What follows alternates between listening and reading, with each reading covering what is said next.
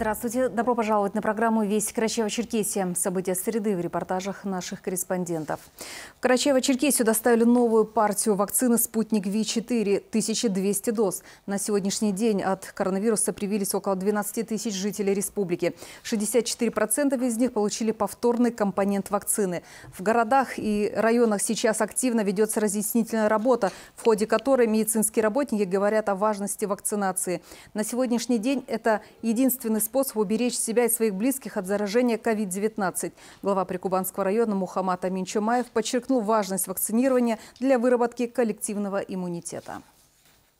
До конца э, многие э, не понимают вот, смысл-то во всей этой вакцинации. Это э, общий иммунитет всего населения.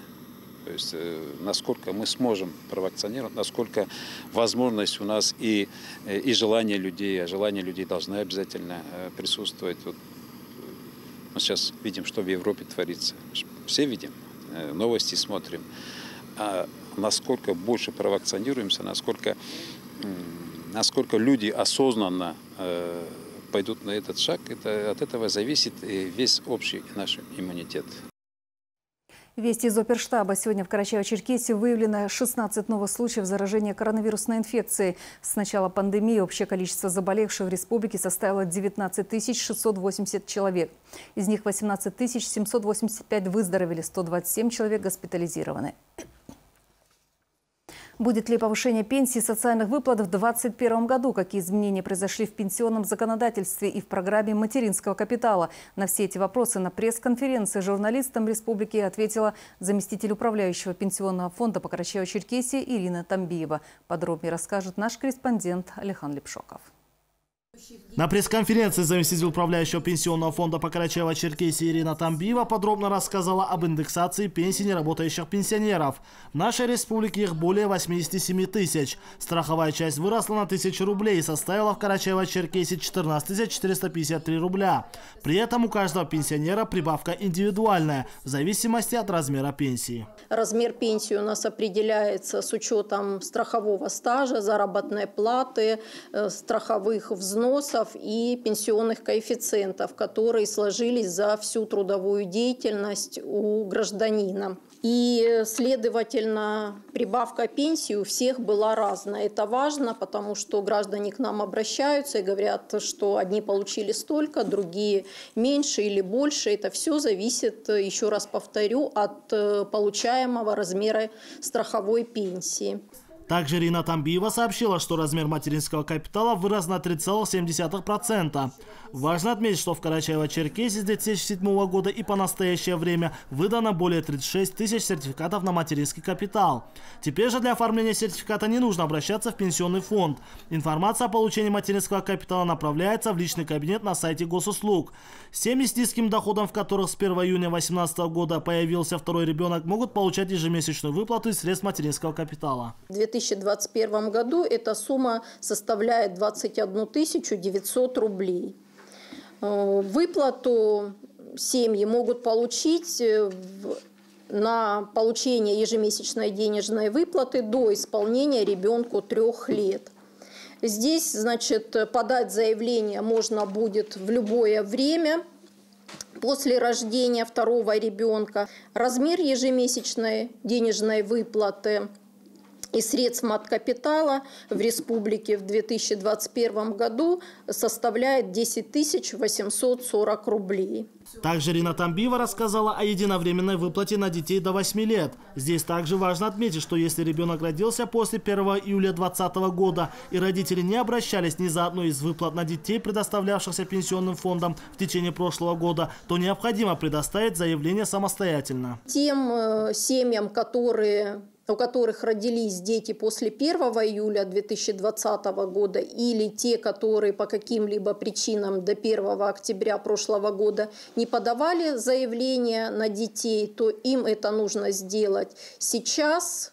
Э, осталось до окончания приема заявлений буквально 5 дней, до 31 марта текущего года пенсионный фонд будет осуществлять прием заявлений на детей от 0 до 8 лет. Также это касается тех семей, у которых дети уже родились после вступления в силу указа, после 18 декабря 2020 года. В завершении пресс-конференции Ирина Тамбиева отметила, что из-за пандемии очень востребованными стали обращения через электронные сервисы пенсионного фонда. На прием можно записаться на сайте и получить необходимую услугу, не выходя из дома. Алихан Шоков, Расул Бердиев, Вести Карачаева, Черкесия. Время прогноза погоды. Слово нашим синоптикам.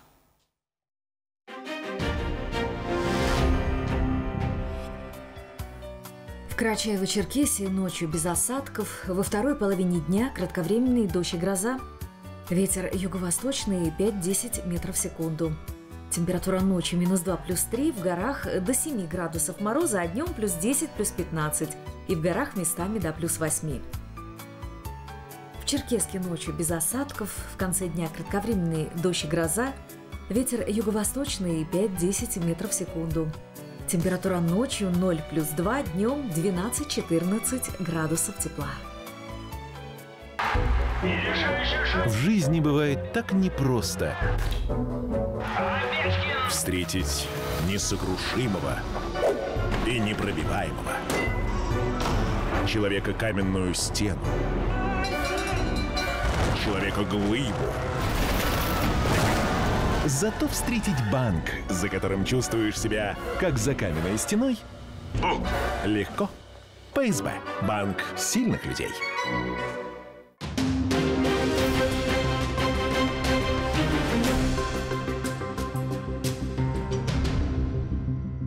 Это «Большие вести» в прямом эфире, мы продолжаем. С 1 апреля, то есть уже с завтрашнего дня, вводятся новые правила сдачи экзаменов на получение водительского удостоверения. Какие произошли изменения и что должен знать и уметь кандидат в водители, нашей съемочной группе рассказали в РЭО. В тонкости новых правил при сдаче экзамена на права вникала Алла Динаева. С 1 апреля вводятся новые правила, и самое заметное изменение – это отмена отдельного этапа экзамена на автодроме. Теперь будущий водитель мастерство вождения авто покажет в условиях реального дорожного движения, но и это еще не все. Поменялась не только площадка, но и изменились и сами требования. Маневры, при вождении которые теперь новичок-водитель не должен демонстрировать инспектору ГИБДД – это… Повороты на 90 градусов, которые отменены, я вам говорю, и змейка отмененная. Это вот из пяти элементов, которые были. А, остались э, параллельная парковка, заезд под углом 90 градусов, трогание на подъем. Вот. И это, эти все элементы будут применяться в условиях дорожного движения при сдаче экзамена. А пока кандидаты-водители на специальных площадках с инструкторами усваивают и вырабатывают навыки вождения автомобиля. Ведь это не просто забава, а серьезная профессия и большая ответственность не только за свою, но и другие жизни. Артем Пономарев решил сесть за руль и проходит учебу в автошколе. Молодой человек решительно настроен стать хорошим водителем. Он уже осведомлен, что будет сдавать экзамен по вождению по новым правилам. Вместо полигона будут сдавать город, ужесточение теории в два раза и и с 16 лет теперь можно сдавать. Готовы к испытаниям? Всегда готов, давно готов. Инструктор всему научил, все, что нужно было, объяснил. А дальше уже дело опыта. А опыта вождения автомобиля ему еще набираться и набираться. И насколько Артем готов к экзаменам, покажет время, и ждать осталось недолго. Для подготовленного кандидата водителя я не вижу проблем при сдаче экзамена, поэтому сложностей не должно конечно, присутствует человеческий фактор, волнение какое-то. Все-таки это событие такое волнительное для многих. И ответственность, и ответственность, само собой, конечно. Автомобиль является источником повышенной опасности, поэтому можно ожидать всего угодно. Хорошее знание теории и успешная сдача экзамена практического этапа еще не означает, что вы профессиональный водитель. Понятно, что мастерство вождения оттачивается годами. Если вы все-таки решили стать водителем, главное и неизменное правило – за рулем нужно находиться здесь и сейчас отложив все дела, думать о вождении автомобиля, ежесекундно контролируя ситуацию на дороге. А когда садишься за руль, больше начинаешь ценить пассажирское место, ведь это дает тебе полную свободу. Можно смотреть в окно, листать ленту в интернете, но все это можно спокойно делать только с профессиональным водителем. Алла Динаева, Али Бастанов, Вести, Карачаево-Черкесия. Ежегодно среди сотрудников МЧС проводятся всероссийские соревнования по оказанию первой помощи и психологической поддержки «Человеческий фактор». Профессиональная лига. В республике прошел первый этап состязаний. Субъект представляет команда Карачаево-Черкесского поисково-спасательного отряда МЧС России. Состязания включали в себя три задания. Часть проводилась в форме тестирования. Кроме того, участники соревнований отправили в судейскую коллегию подготовленный ими ролик, в котором оказывали доврачебную помощь пострадавшим с различными видами травм. По результатам первого этапа занявшие призовые места по СКФО будут представлять округ на заключительном этапе конкурса в Москве. Сегодня в республиканской столице открылась ярмарка деликатесов Тихого океана. Камчатские рыбаки привезли в Карачаево-Черкесию вкусное и полезное настроение. На дегустации был Руслан Коркмазов. И вот его рыбно-икорный репортаж. Это самая жирная, самая вкусная царица лососева. То есть, получается, это икра как Мерседес? Да, как Мерседес, похожа. Дорогая и вкусная. Людмила Григорян не просто приятный человек, не просто эксперт по деликатесам. Она стала символом богатого застолья. Все у нее вкусно и полезно, потому что из Тихого океана. Начнем с икры. Этот шедевр рыбного царства должен соответствовать строгим требованиям качества. Во-первых, она должна быть густой, она не должна быть жидкой. Во-вторых, если обязательно нужно пробовать икру. Икра должна быть э, вкусом отдавать рыбой, чтобы чувствовался вкус рыбки, а не просто она должна быть нежная, чтобы ее придавил, и пленочка у нее лопалась, а не каталась по зубам. И вот в этой упаковочке сколько грамм? Ну, здесь 300 грамм. И это 300 грамм сколько будет? Где-то 1800. Вот 1800 рублей, если дешевле, это уже не икра. Для тех, кто хочет получить удовольствие от рыбы, но при этом чуточку лень ее готовить, камчатские рыбаки привезли филе киты и горбуши, уже готовые к обеду, ужину и даже завтраку. Только картошечку надо пожарить, да со свежим хлебушком почувствовать радость жизни. Рыбная царица Чавыча возглавила целую полезную делегацию из Камчатки. И вот какие у нас вкусные гости. Помимо Чавычи, конечно, у нас много наименований. И кита, и кижуч, и горбуша. Это все красная икра, э, красная рыба, это все лососевая рыба. Но есть и северные рыбы, как, например, белорыбица. Белорыбица тоже имеет те же свойства, как и чавыча. Она полезна. Даже у кого большой холестерин, ее не страшно кушать, и она полезно также.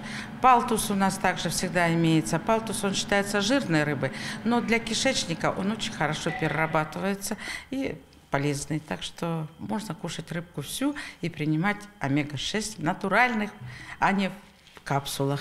Из глубин Тихого океана к нам привезли морскую капусту и селедку, а печень трески обещает наполнить душу радостью, организм витаминами.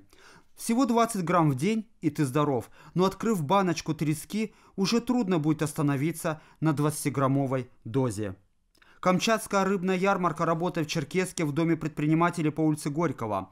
Гурманов ждут с 9 до 19 и до вечера воскресенья. Надо поспешить за рыбой и икрой, все это быстро раскупают. Руслан Коркмазов, Роберт Джигутанов, Деликатесные вести, Карачаево-Черкесия. И спортивные вести. В Орле завершился чемпионат России по армрестлингу. По итогам соревнований в копилке спортсменов Карачаево-Черкесии 6 медалей различного достоинства. Олег Черкасов, выступающий в весовой категории до 70 килограммов, стал победителем данных соревнований как правой, так и левой рукой. Благодаря этому успешному выступлению Олег Черкасов вошел в основной состав сборной команды России и будет представлять страну на предстоящих чемпионатах Европы и мира. Мухаммад Кубанов в весовой категории до 65 килограммов завоевал третий третье место в борьбе правой рукой. Марат Мамхьягов в весе до 85 килограммов завоевал тоже третье место в борьбе правой рукой. Такой была среда в Карачаево-Черкесии. Прямо сейчас смотрите продолжение сериала «Теория вероятности». Приятного просмотра и ждите вестей.